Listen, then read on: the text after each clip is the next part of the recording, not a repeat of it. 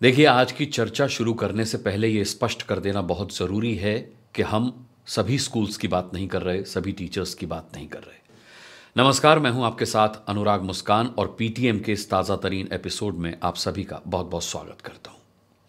मैंने स्पष्टीकरण इसलिए दिया, ये डिस्क्लेमर इसलिए दिया क्योंकि मैं जानता हूँ कि जब भी हम अपने बच्चों के साथ होने वाले भेदभाव की बात करते हैं, जो टीचर्स उनके साथ स्कूल में करते हैं या स्कूल्स करते हैं तो लगभग सभी स्कूल्स शक के दायरे में आ जाते हैं, सभी टीचर्स जो हैं वो कटघरे में आ जाते हैं, जबकि ऐसा सही नहीं है। कई टीचर्स और ज़्यादातर स्कूल अपनी जिम्मेदारियों का निर्वाह बहुत ठीक ढंग से करते हैं बच्चों के साथ, उनकी पढ़ाई के साथ, उनके गाइडेंस के साथ। यहाँ कुछ टीचर्स ही हैं, कुछ स्कूल्स ही हैं, जो ठीक से अपनी भूमिका का निर्वाह नहीं कर पा रहे। उनके लिए ये एपिसोड मैंने बनाया है कि टीचर्स और स्कूल्स की शिकायत किससे करें और कैसे करें? क्योंकि कई पेरेंट्स को ये पता ही नहीं होता कि वो उनके बच्चे के साथ स्कूल में जो अन्याय हो रहा है, उसके खिलाफ क्या कर सकते हैं और क्या नहीं कर सकते। देखिए पेरेंट्स अक्सर परेशान रहते हैं इस सवाल को लेकर और उन्हें जवाब नहीं मिलता। मैं ऐसा अनुभव के आधार पर भी कह रहा हूँ, और अगर आपको मेरी बात पर यकीन ना हो तो पीछे जाइए पीटीएम का एपिसोड नंबर नाइन देखिए ट्यूशन वाला एपिसोड जिसमें मैंने सवाल उठाया था कि क्या आपके बच्चे ट्यूशन जाते हैं, उनके कमेंट्स उस उस उस एपिसोड के कमेंट्स पढ़िए, और एपिसोड नंबर ट्वेंटी टू पर जाइए, जिसमें मैंने ये सवाल उठाया था कि क्या स्कूल में टीचर्स आपके बच्चे के साथ भेदभाव करते हैं, इसके कमेंट्स पढ़िए, लोग क्या कुछ लिख रहे हैं? पीटीएम के इन दो एपिसोड्स पर जो रिएक्शंस आए, वो रिएक्शंस बेहद चौंकाने वाले हैं। देखिए, सबसे पहली बात तो ये है कि टीचर्स या स्कूल्स के ख़िलाफ़ शिकायत करने से पेरेंट्स डरते हैं, ये बात सामने आई। वो इसलिए डरते हैं क्योंकि कहीं ऐसा ना हो कि वो टीचर की शिकायत प्रिंसिपल से करें या स्कूल की शिकायत किसी अथॉरिटी से करें तो उनके बच्चे के भविष्य के साथ कोई खिलवाड़ हो जाए। क्योंकि रहना तो उनके बच्चे को उसी स्कूल में है।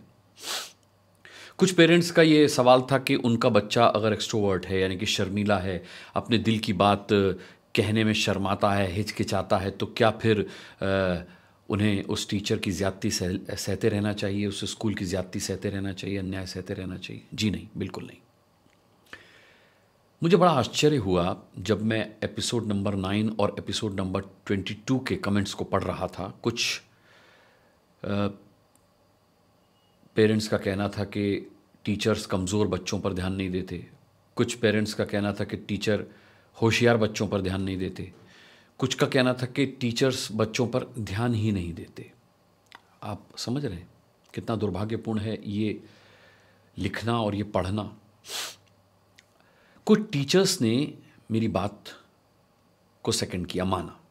उन आप जाएँगे तो उसमें कमेंट हैं कि मैं टीचर हूँ और मैं आपकी बात से सहमत हूँ कि टीचर्स बच्चों को ट्यूशन के नाम पर या और किसी मुद्दे को लेकर के प्रताड़ित करते हैं हरास करते हैं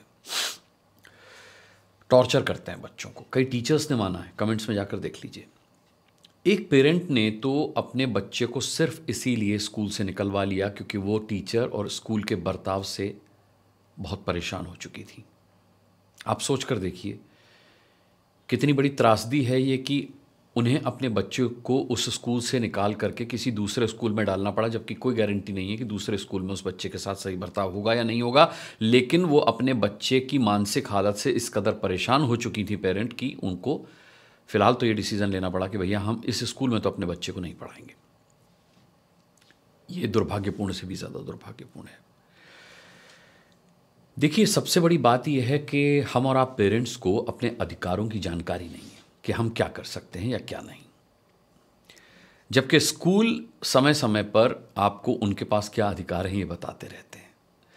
लेकिन कोई आपको ये नहीं बताता कि एज अ पेरेंट अभिभावक के तौर पर आपके पास क्या क्या अधिकार हैं।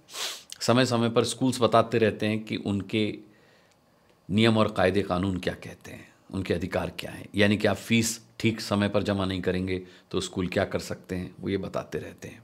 आपका बच्चा अगर ठीक से स्कूल ड्रेसअप होकर नहीं आया तो स्कूल क्या एक्शन ले सकता है? टीचर क्या एक्शन ले सकते हैं? ये डायरी में मेंशन होता है। वो समय पर स्कूल नहीं आया, यानी लेट हो गया तो गेट के बाहर खड़ा रखा जाता है। बच्चे को जब तक प्रेयर नहीं हो जाती, उसको स्कूल में एंटर नहीं करने दिया जाता। ये स्कूल का अधिकार है जिसका वो इस्तेमाल करते हैं। वो ये समय समय पर बताते रहते हैं कि आपने अगर हमारे नियम और कानून का पालन नहीं किया तो क्या हो सकता है?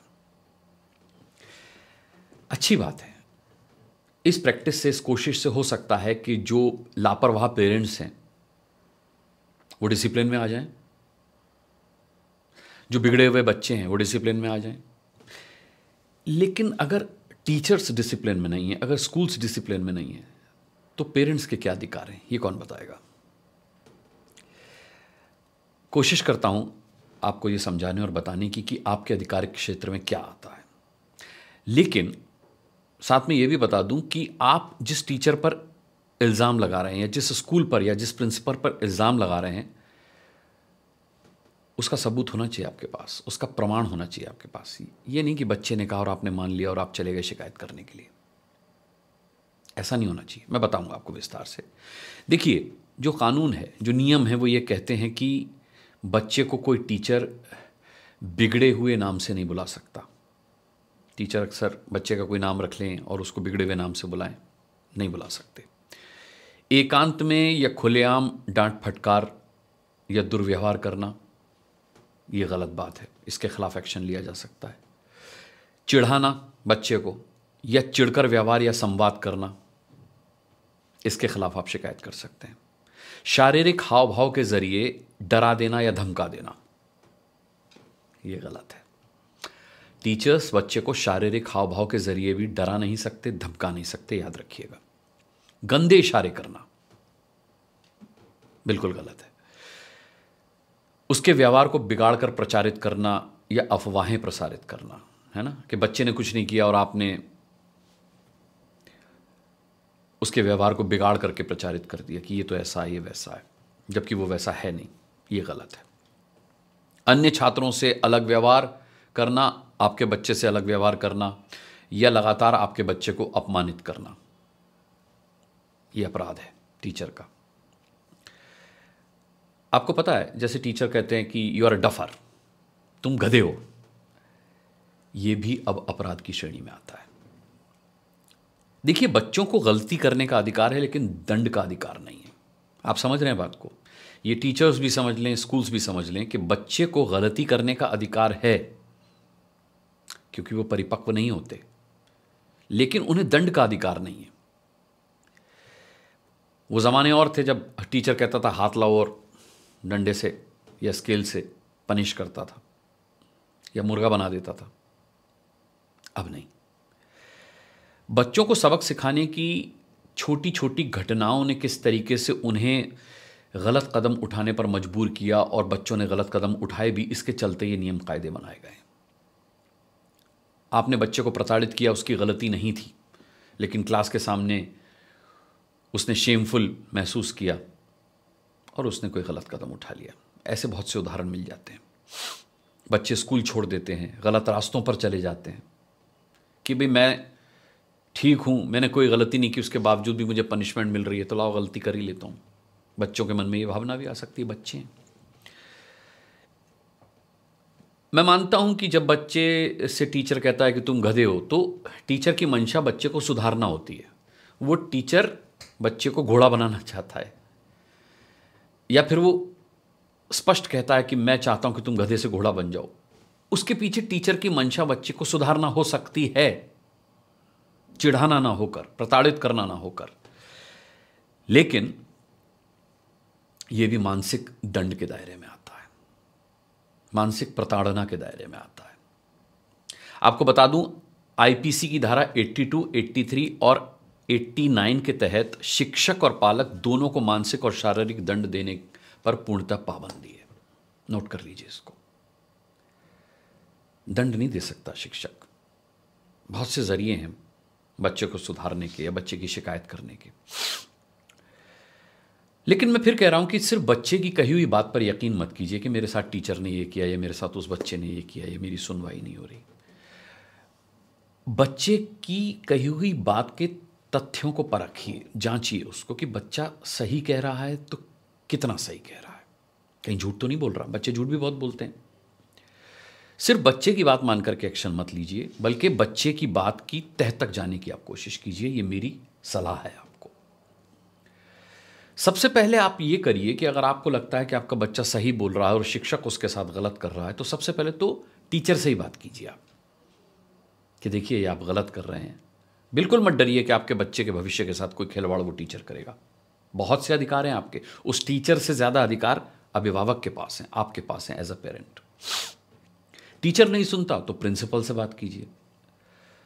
और एक बात और ध्यान रखिएगा कि ये जो टीचर से आप बात कर रहे हैं, या प्रिंसिपल से आप बात कर रहे हैं, कोशिश कीजिएगा कि आपका संवाद, आपका कम्युनिकेशन जो है, वो ईमेल के ज़रिए हो, जिसका रिकॉर्ड आपके पास रह सके। आप अगर बातचीत करते हैं वर्बली वर्बली बातचीत करते हैं या फिर मैसेज करते हैं, उसका कोई रिकॉर्ड नहीं होता, वो कोई डिलीट भी कर सकता है। बातचीत तो हवा में होती है, बातचीत का कोई रिकॉर्ड ही नहीं होता। मैंने कहा था, टीचर ने मुझे आश्वस्त किया था, कोई रिकॉर्ड नहीं है जी।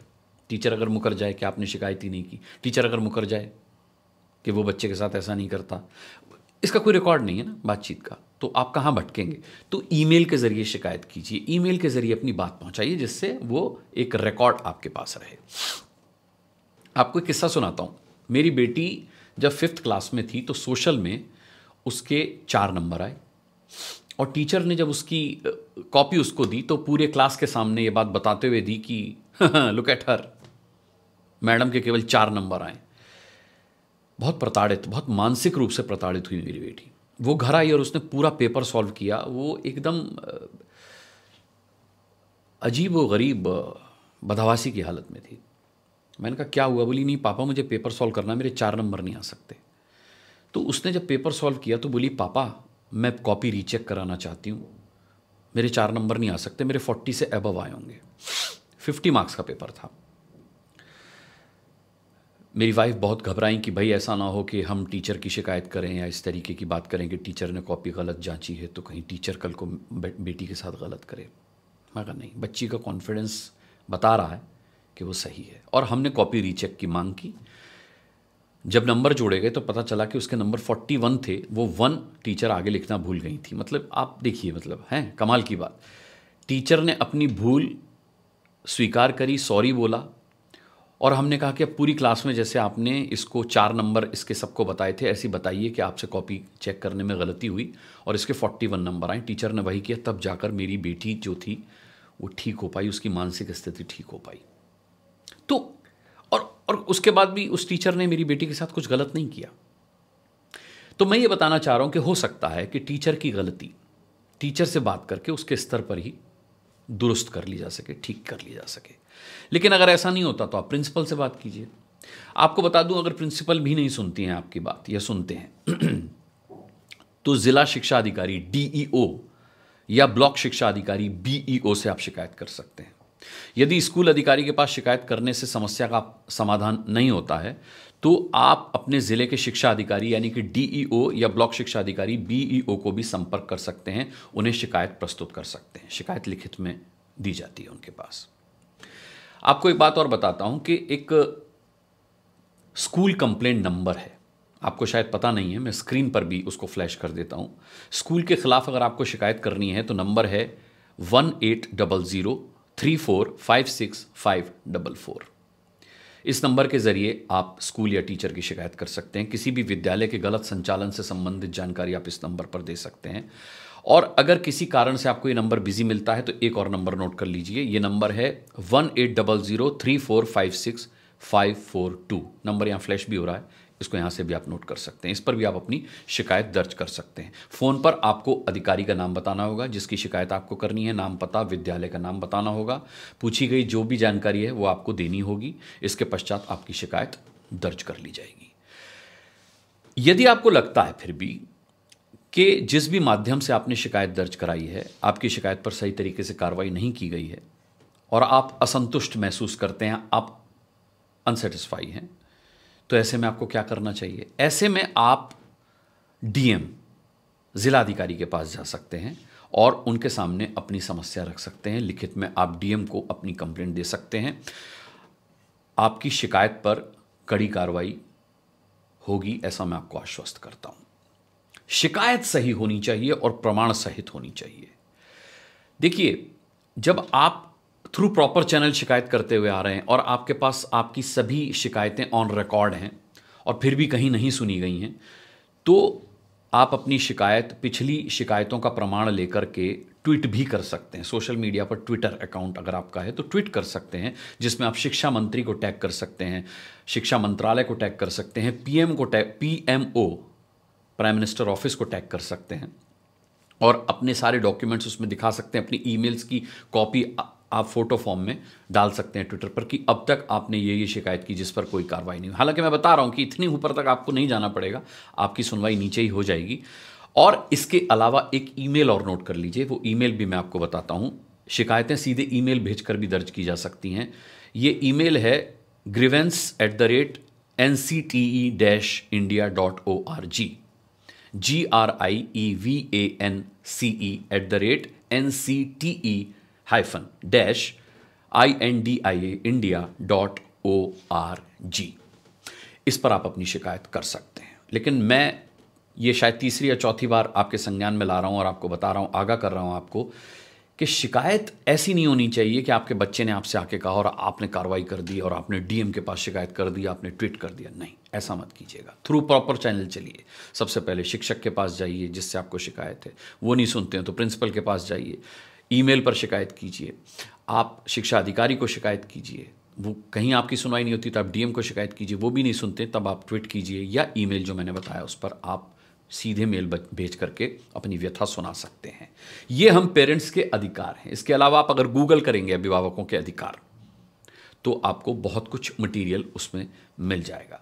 लेकिन सही मत और चुप रहिए मत। इतना मेरा कहना है अगर आपका बच्चा प्रताड़ित हो रहा है आपके बच्चे के साथ टीचर या स्कूल या प्रिंसिपल अन्याय कर रहे हैं जस्टिफिकेशन नहीं कर रहे हैं और डिस्क्रिमिनेशन कर रहे हैं भेदभाव कर रहे हैं तो इसको होने मत दीजिए। क्योंकि बच्चों की मानसिकता जो होती है वो बहुत कोमल होती है। अगर उनके दिलो दिमाग पर कोई आ, सदमा घर कर गया तो फिर इसका नुकसान वो जीवन पर्यंत भोगते हैं।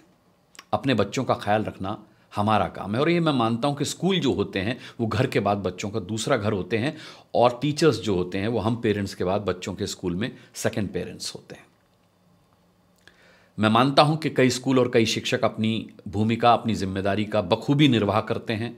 मैं उन्हें प्रणाम करता हूँ सैल्यूट करता हूँ, लेकिन कई जगह लूप होल्स हैं, जिन्हें हम पेरेंट्स ही सुधार सकते हैं, क्योंकि हमें अपने बच्चों का भविष्य सुदृढ़ बनाना है, क्योंकि वो इस देश का भविष्य है। आपके पास अगर कोई सुझाव है तो ज़रूर लिख भेजिएगा। मैं पीटीएम में बच्चों से जुड़े तमाम मुद्दे लेकर के आता रहूँगा, चर्चा करता रहूँगा। मैं आपके कमेंट्स से भी आपके सुझाव लेता हूँ और उन सुझावों को भी मैं आगे शामिल करने की कोशिश करूँगा। आगे हम कोशिश करेंगे कि बच्चों को होने वाली तमाम प्रॉब्लम्स यहाँ इस प्लेटफॉर्म पर डिस्कस की जाएँ। इस वीडियो को लाइक कीजिएगा, कमेंट ज़रूर कीजिएगा, शेयर कीजिएगा, इसको फॉलो कीजिएगा क्योंकि आगे भी हम बच्चों की बात करते रहेंगे।